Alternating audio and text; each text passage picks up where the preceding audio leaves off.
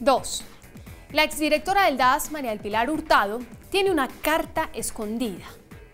Las autoridades colombianas están en alerta ante lo que podría ser un nuevo capítulo de la novela sobre la situación de la exdirectora del DAS, María del Pilar Hurtado.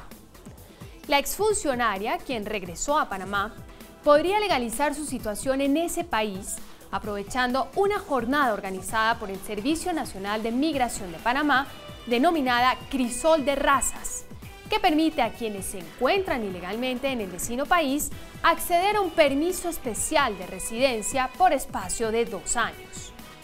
El Servicio de Migración de Panamá abrió ya las inscripciones para acceder a este beneficio. Quienes deseen obtener el permiso de residencia podrán tramitarlo personalmente en las dos primeras semanas de octubre. Esta sería la última carta que se jugaría la exdirectora del DAS para evitar una deportación a Colombia luego de que se negara su extradición.